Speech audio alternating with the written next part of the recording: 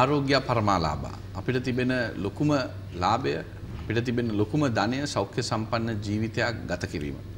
අපි විශ්වාස කරනවා මෙම සෞඛ්‍ය උපදෙස් මාලාවේ වෛද්‍ය හමුවේ ඔබට සෞඛ්‍ය සම්පන්න ජීවිතයක් ගත කිරීම සඳහා උපදෙස් ලබා දීම සහ ඔබේ දැනුම සෞඛ්‍ය දැනුම වර්ධනය කිරීම.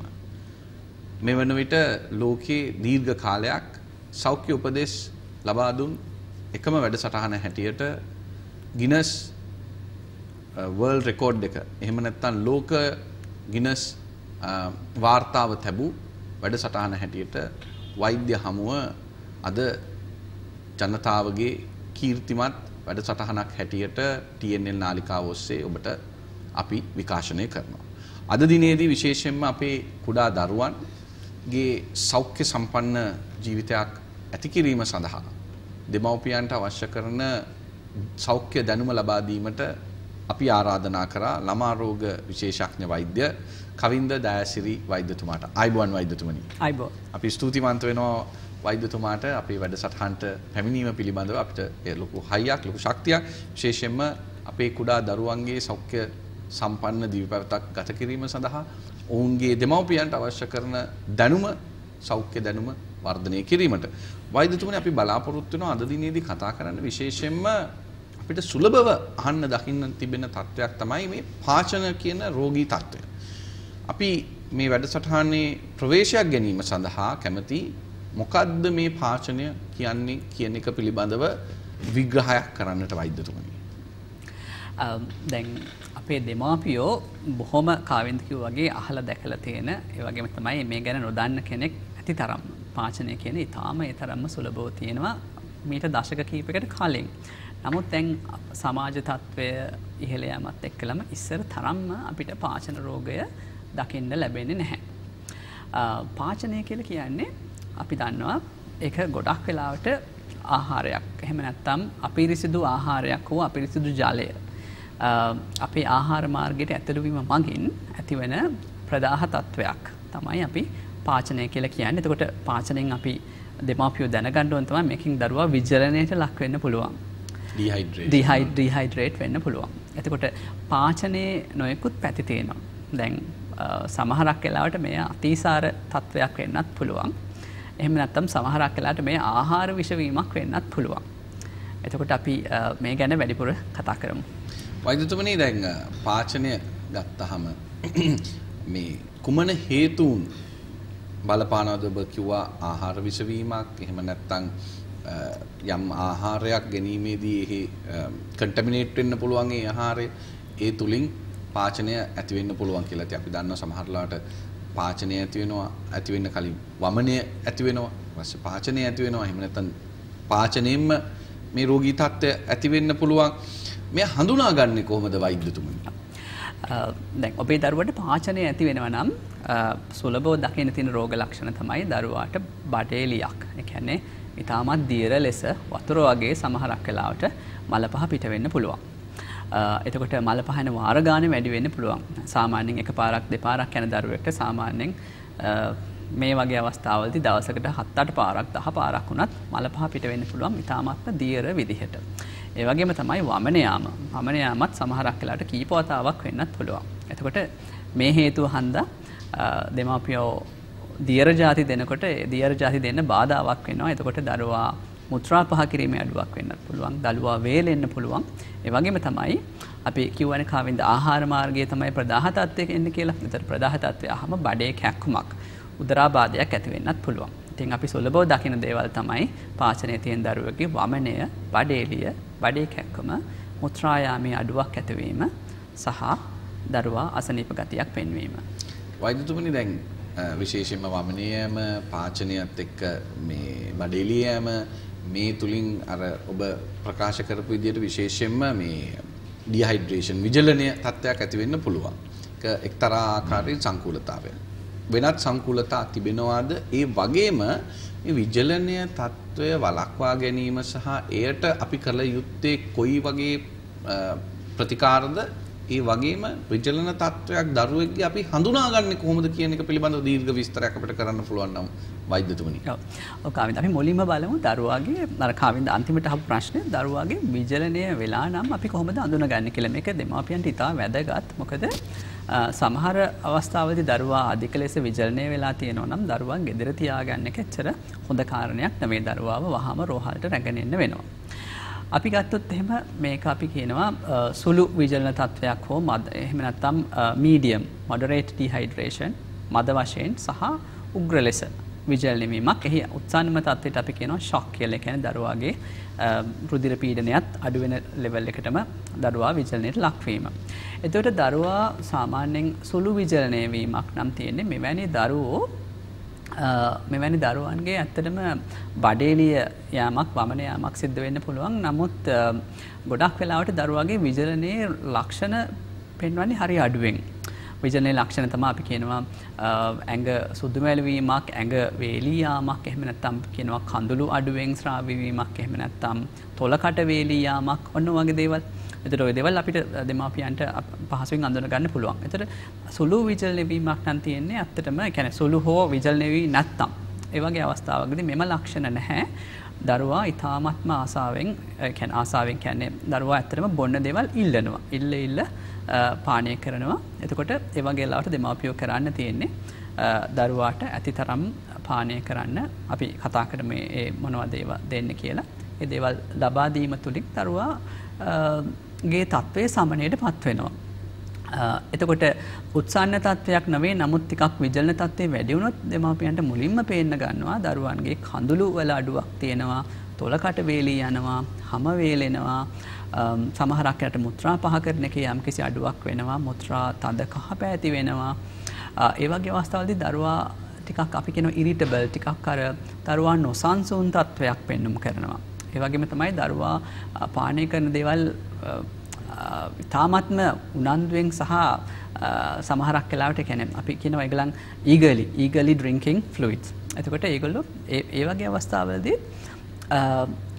තමයි එකන උත්සාන නොවන. නමුත් උත්සන්න වන අවස්ථාවකදී කැනෙ ගොඩක් අධික ලෙස විජලන වෙලා තිබොත් ඔබේ දරුවා නිදි බර ස්වභාවයක් ගන්න ඒවගේම තමයි දරුවා තවදුරටත් පානවර්ග ඉල්ලන්න නෙත් නෑ. ඒවගේම දරුවා මුත්‍රා පහ කරන්නේ නැතිවෙයි ඒවගේම තමයි දරුවගේ නාඩි අල්ල බැලුවොත් නාඩි ඉතා වැඩියගයක් ගනීවී එහම නැත්තම් නාඩි හොඳට දැනෙන් නැතිවේ ඒවගේ තත්ව අපි කියෙන උග්‍ර විජලන තත්ත්වයක් කියලා. එතකොට දෙමවපියෝ ඉතා වැදගත් දරුවාගේ විජලන තත්ත්වය සමනය වන්නේ නැත්තම් වහාම දරුවා රෝහල්ට රැගෙන අන්ඩෝන.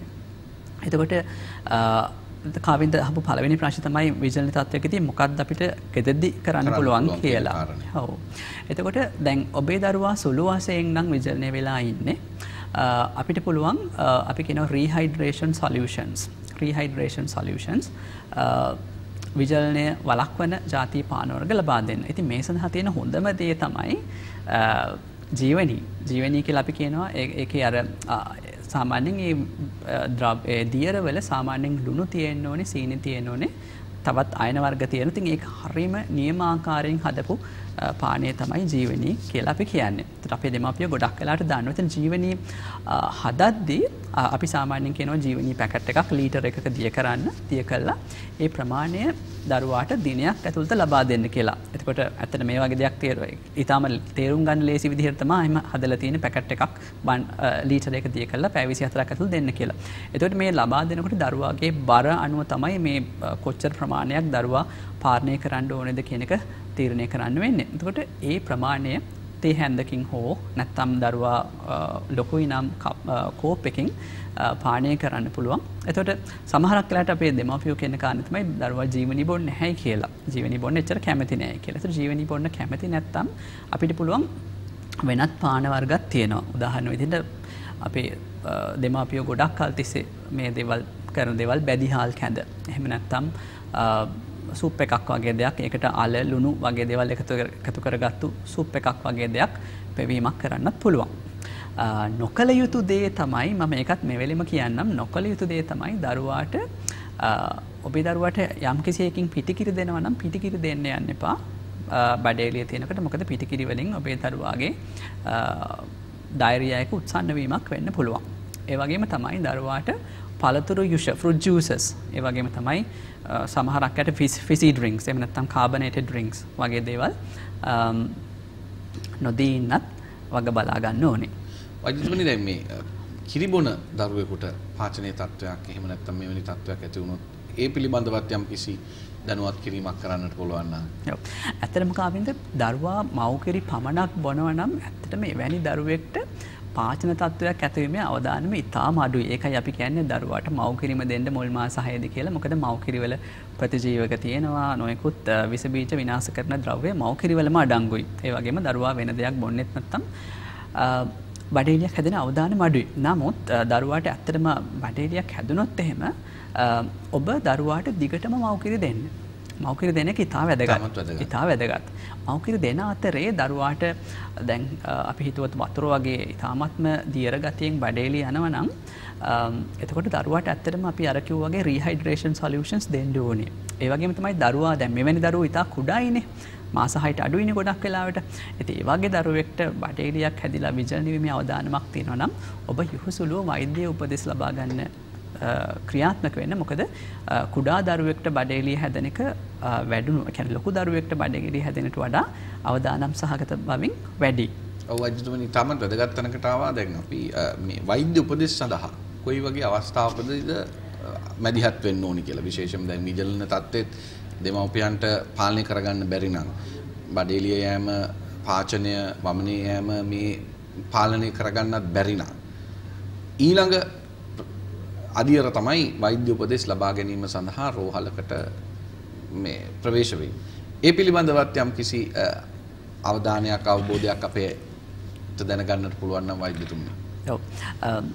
දැන් ඔබ වෛද්‍ය උපදෙස් ගන්න ඕනේ කාරණය තමයි දැන් මම කලින් කිව්වා වගේ දැන් මෙවැනි පාන වර්ග දරුවාට ලබා දීම මගින් දරුවාගේ බඩේලිය තත්ත්වය නිකම්ම සමනය වෙලා යන්න පුළුවන්. ඒ වගේ අවස්ථාවකදී දරුවා හොඳින් ඉන්නවා නම් දරුවා හොඳින් මුත්‍රා පහ කරනවා නම් දරුවා ඇක්ටිව්ලි ක්‍රියාශීලීව ඉන්නවා නම් සහ දරුවා හොඳින් කැන වමනය වගේ දේවල් නැත්තම් සහ දරුවාගේ දේහෙන් අධික ලෙස බඩේලී යන්න නැත්තම් ඇඟෙන්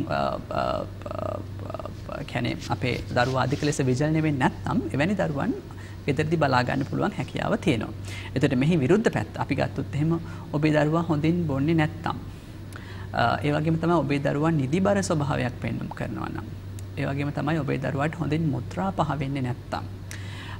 මෙවැනි අවස්ථාවලදී එහම නැත්තම් අධික ලෙස වමනයාමක් හන්ද දෙමවපියන්ට පවාගන්න බැරි නම් දරුවාට ඇති තරම් පාන දෙන්න බැරි නම් එවැනි අවස්ථාවකදී පමාණවේ වෛද්‍යපදෙස් ලබාගන්න ඕනේ.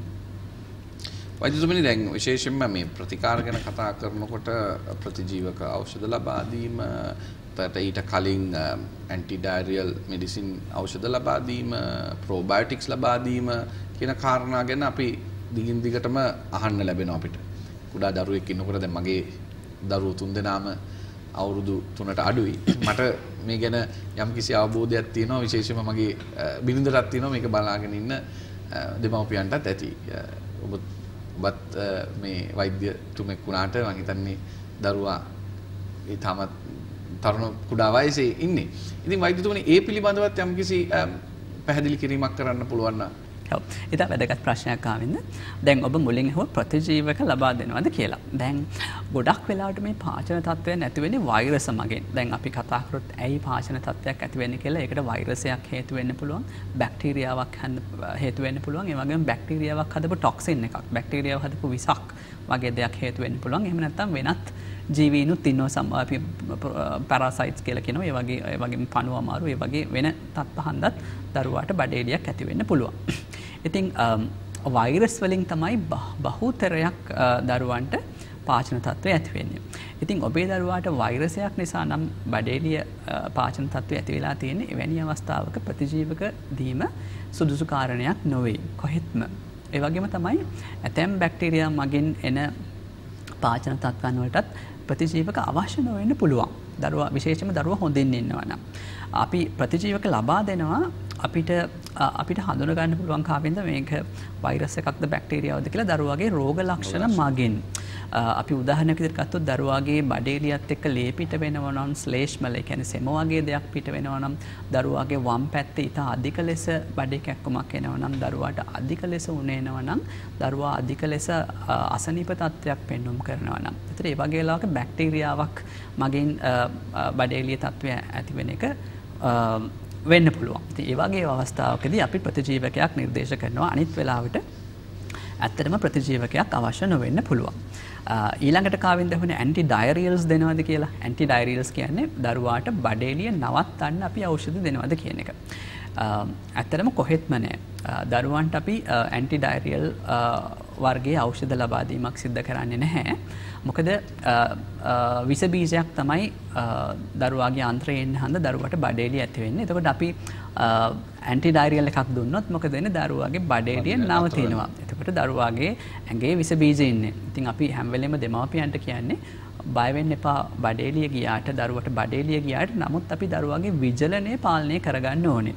විජල්රේට් කරන්න ඕන. රීහයිඩරේට් කරන්න ඕනේ. විජලනය මගින් තමයි දරුවාට ප්‍රශ්න ඇතිවෙන්න පුළුවන්. බඩේලිය ගියාට කමක් නෑ බඩිරිට අපිට ෞෂධ ලබා දෙන්න පුළුවන්. වෙනත් ෞෂධ තින කාවෙන්ක වගේ ප්‍රෝබයිටික්ස් වගේ ෞෂධ ලබා දෙන්න පුළුවන්. නමුත් බඩේලියන එකට නෙමේ අපි ඇත්තට බාවෙන් වන විජලනයට ඇන්ටි ඩයිරියල් ජාති ඖෂධයක් නොත් එහෙම දරුවගේ බඩේලිය නවතීවී නමුත් විසබීජය දරුවගේ දේහ ඇතුළ ඉන්නේ. එක ඇත්තටම එතකොට එච්චර හොඳ දෙයක් නොවේ. එතකොට කාවිද තුන්ගන හොන ප්‍රෝබයිටික්ස් ජාති අවෂ දෙනවාද කියලා ප්‍රෝබයිටික්ස් කියල කියන ඇත්තරම මේ අපි ආහාරමාර්ගයේ දැන් ඔය පාචනය ඇති කරන්නේ විසබීජවලින්නේ ඒ වගේ ශුද්‍රජීවින් නො ඇතැම් ශුද්‍රජීවින් ඇත්තටම අපේ ආහාරමාර්ගයට හොඳයි ඒ වගේ ශුද්‍රජීවින් ඉන්න එක. ඒගොලන්ගේ පරිවෘතිය ක්‍රියා මගින් අපේ ආහාර ජීර්ණය සහ ආහාරමාර්ගයේ සෞඛ්‍ය තත්වය වැඩි කරගන්න තම ඇත්තර මේකල උදව් කරන්නේ. ඉතින් මේ වගේ ජීවීන් අපිට කැන ඒ වගේ දේවල් අපිට රසායනික කැන අවෂධ විදිහට අපිට පිටිං ලබා දෙන්න පුළුවන්. ඉතින් අපි පොදු ව්‍යාහාරි ප්‍රෝබයිටිකල් හඳුන්වන්නේ මෙන්න මේ ද්‍රව්‍යවලට. ඉතින් මේවා ඇත්තටම ලෝකයේ පර්ේෂණ මගින් හොයාගෙන තියෙනවා. පාශන තත්ත්ව සහ විශේෂම අතිසාර වගේ තත්ත්වලට ප්‍රෝබයිටික් කාණ්ඩය ඖෂධ ලබාදීම තුළින් දරුවාට ඉක්මනින් සනීප කරන්න පුළුවන් ඉතින් ඒවගේ අවස්ථාවලදි වෛදරු ප්‍රෝබයිටික් ජාති ඖෂධ ලබාදීමක් කරන්න පුළුවන්. වෛද්‍යතුම දැන්මේ මෙවැනි තත්ත්වයක් බලක්වා ගැන අපිට තාමත් වැදගත් මොකද දෙමවපියන්ම දැනුවත් කිරීම දැනුවත්වීම තුළ මෙවැනි තත්ත්වයක් බලක්වා ගන්න පුළුවන්. වලක්වා ගැනීම සඳහා අපිට යම් කිසි උපදෙස් මාලාවක් දෙන්න පුළුවන් වෛද්‍යතුමනි.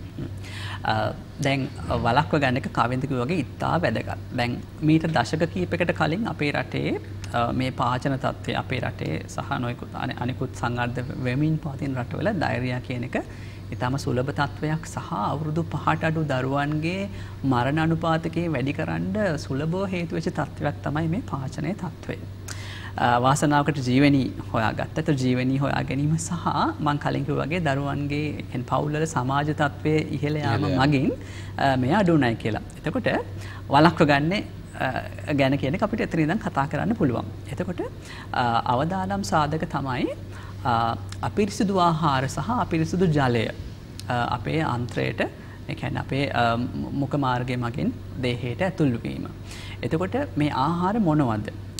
සමහරක් වෙලාවට පලාවර්ගයක් වෙන්නත් පුළුවන්.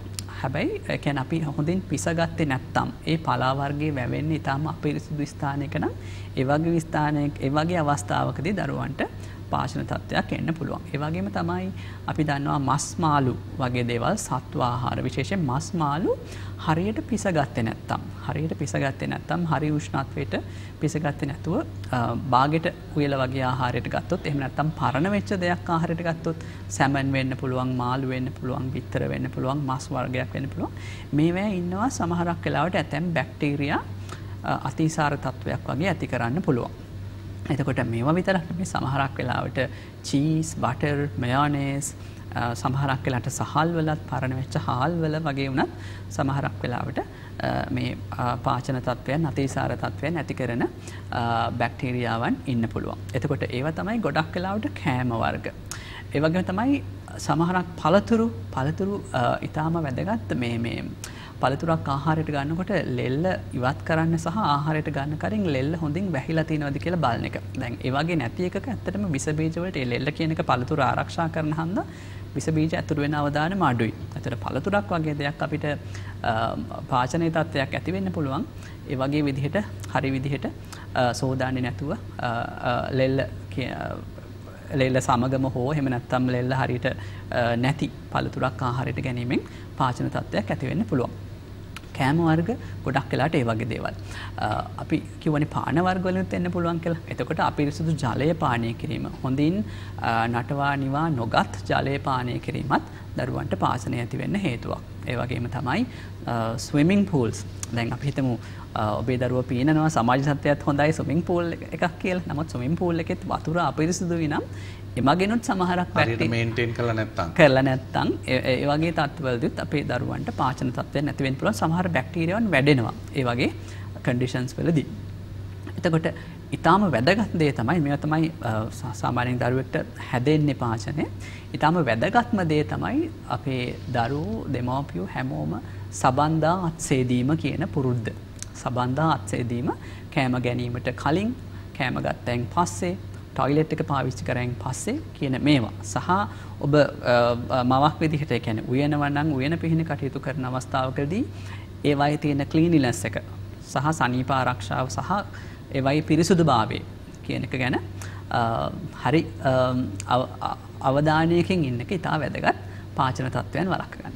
වෛද්‍යතුමනි මම හිතන්නේ මේ පාචන තත්ත්වය ගැන ඔබ දීර්ඝ පැහැදිලි කිරීමක් කරා විශේෂම ආහාර පාන වගේම අපි දන්නවා දරුවන්ට තමන්ගේ දෑත් පිරිසිදුව තියා ගැනීම ආහාරයක් ගැනීමට ප්‍රථමයෙන් ඒ වගේම වතුර වුණත් ඒක උණු කරලා නිමලා පානය කිරීම ඒ වගේම පාචන තත්ත්වයක් හැදිච්ච දරුවෙක්ගේ විශේෂයෙන්ම ඩීහයිඩ්‍රේට් වෙන්නේ නැතුව ඒ දරුවා විජලන තත්ත්වයට පත් නොවි ඒ දරුවාව කොහොමද අපි ආරක්ෂා කරන්න කියන එක පිළිබඳවත් ඔබ දීර්ඝ විස්තරයක් කරා වෛද්‍යතුමනි. අපිට තව කාරණයක් මතක් වෙනවා මේ දරුවෝ ගැන කතා කරනකොට සමාජයේ කතා වෙනවා මේ ලැක්ටෝස් ඉන්ටොලරන්ස් කියන මාර්තුකාව. මේ පිළිබඳවත් යම්කිසි විග්‍රහයක් කරන්න පුළුවන් නම් වෛද්‍යතුමනි. Uh, දැන් අපිට ලක්ටෝස් ඉන්ටරන්ස් කෙනකත් ඇතරම කාවින්ද දකිින් ලැපිටි කුඩා දරුවන්ගේ සාමානෙන් අවුරුදු දෙකට වගේ අඩු දරුවන්ගේ.